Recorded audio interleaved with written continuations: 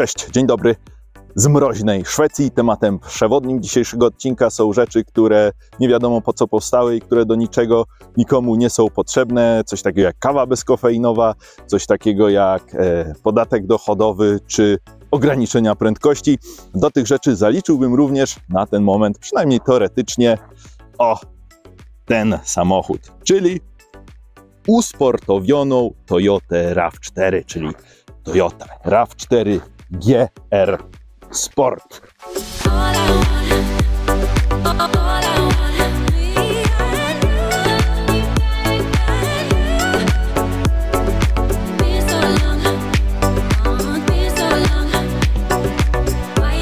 No bo chyba zgodzicie się ze mną, że ostatnią rzeczą, którą potrzebowała znana, popularna, lubiana Toyota RAV4 jest sportowy sznyt i sportowe zacięcie, a jednak Toyota stwierdziła, że wzorem Yarisa czy CHR-a mm, zafunduje, cech, zafunduje RAV4 mm, sportową kurację w postaci pakietu stylizacyjnego GR Sport i może nie byłoby w tym nic złego, nie byłoby w tym nic kontrowersyjnego, gdyby te sportowe zmiany ograniczały się tylko do zmian stylizacyjnych, ale tak nie jest. Zmian jest tutaj troszkę więcej i o nich też e, sobie powiemy, ale na ten moment zajmijmy się właśnie e, stylizacją. Jak widzicie, jesteśmy już po trakcie pierwszych jazd testowych tutaj na północy Szwecji, zaśnieżone drogi, latamy na oponach z kolcami, co już samo w sobie z frajdą.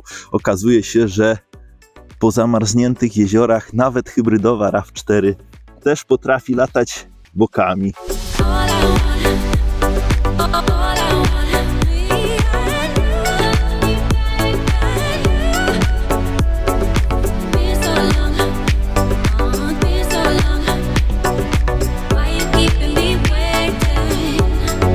Przez te zmiany stylizacyjne, co tu się zmieniło. No, widzicie na pierwszy rzut oka, że ten przód jest bardziej agresywny, bardziej sportowy, a to między innymi dlatego, że pojawia się tu troszkę inne wypełnienie tego grilla, taka bardziej trójwymiarowa, czarna, wyczerniona e, siateczka, wyczerniony. Zobaczcie, jest też znaczek, nie ma tutaj typowej dla hybrydowych e, Toyot niebieskiej obwódki wokół, wokół loga Toyoty.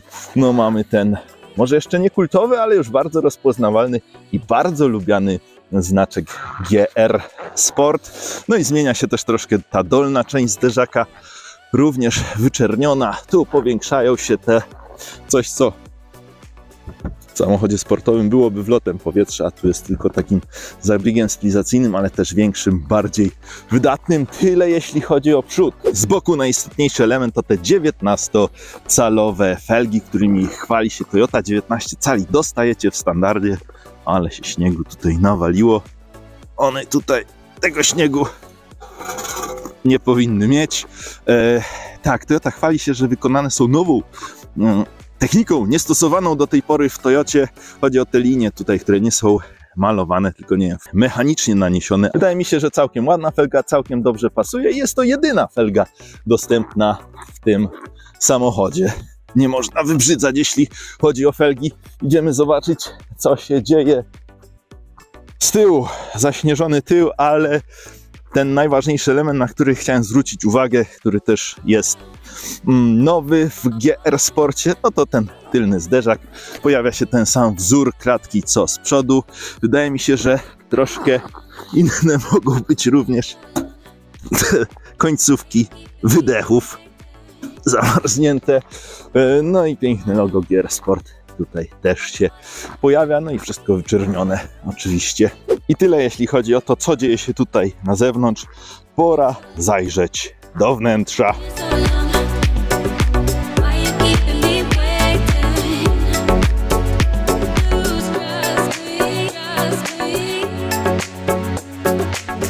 I proszę bardzo, wnętrze Toyoty RAV4 w wersji GR Sport, jak widzicie utrzymane w czarnej, sportowej, a jakże tonacji. Z nowości mamy tutaj taką, taki sztuczny zamsz, coś ala Alcantara na fotelach. Yy, tłoczone logo GR, to logo GR pojawia nam się również tutaj na kierownicy, jak we wszystkich innych Toyotach e, GR i GR Sport. E, Kierownica się natomiast nie zmienia. Logo gier pojawiłoby się na dywanikach, ale z racji tego, że jesteśmy tu, gdzie, gdzie jesteśmy, są niestandardowe gumowe dywaniki. I to wszystko, jeśli chodzi o takie stylizacyjne akcenty typowe dla gier sport, ale jest tu jeszcze jeden ciekawy element, na który warto zwrócić uwagę, czyli nowe cyfrowe zegary i nowe nowy system multimedialny. Tutaj mamy bodajże 12, ponad 12 cali, tam ponad 10. Nie jest to rzecz unikatowa w GR, ale jest to rzecz Duża nowość w RAV4, duża nowość, która do e, pozostałych wersji RAV4 trafi już niebawem. I są to też rzeczy swoją drogą, które znamy. Ta cyfrowa tablica wskaźników pojawiła się bodajże w nowej to Corolli Cross, podobnie jak ten system multimedialny. I jest to bardzo pożądana i miła zmiana w Toyotach. Meter Settings, Meter Style, i zobaczcie, co tu się będzie działo. Nie wiem, to już pewnie wszyscy pokazywali przy okazji testów e, Corolli Cross, o ile takie graficzki są w Corolli Cross, ale dla mnie to jest nowość, e, tak samo jak te animacje tutaj przy przełączaniu trybów. Takie rzeczy tu się podziały. No a tutaj bezprzewodowy Android Auto i e, bezprzewodowy Apple CarPlay i nadal przewodowy Android Auto. Zobaczmy jak to wygląda i co tu się dzieje. No to też jest rzecz znana, e, z, chociażby z Lexusa NX, z tego co kojarzę.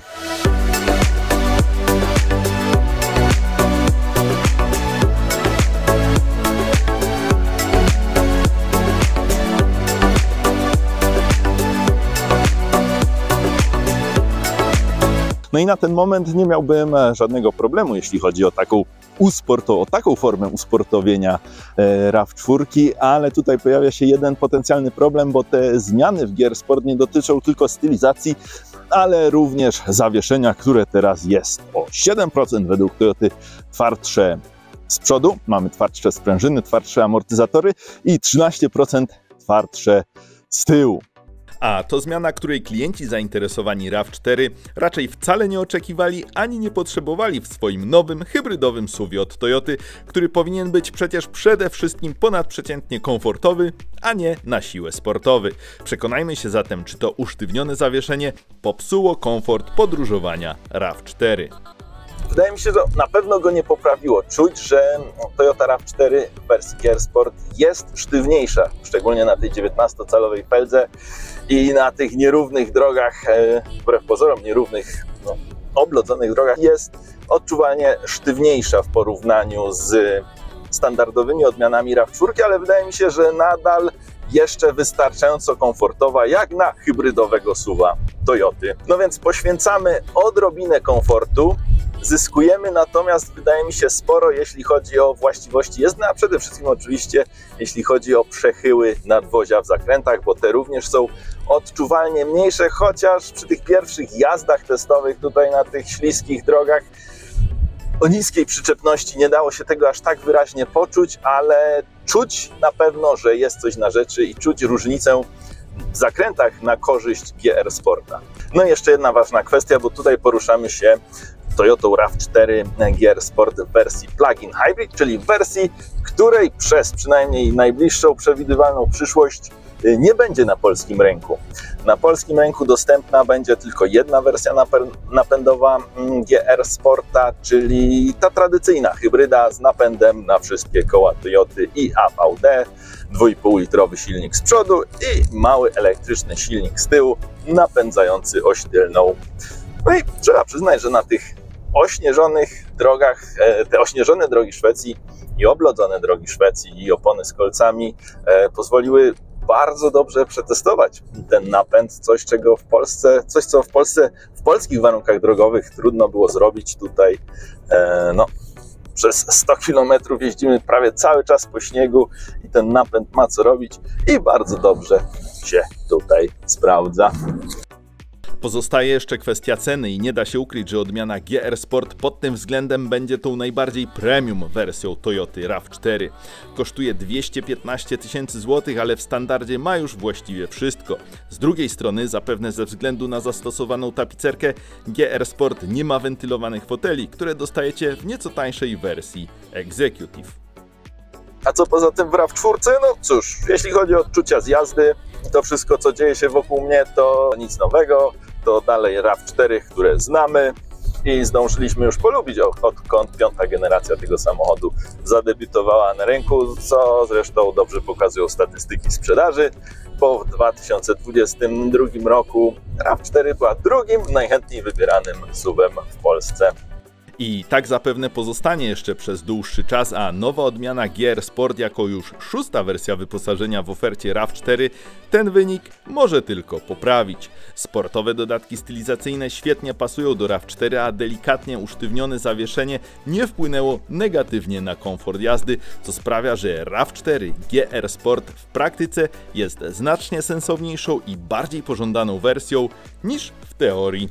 To chyba tyle na ten moment. To tyle pierwszych wrażeń z pierwszych jazd testowych nową usportowioną odmianą Toyoty RAV4.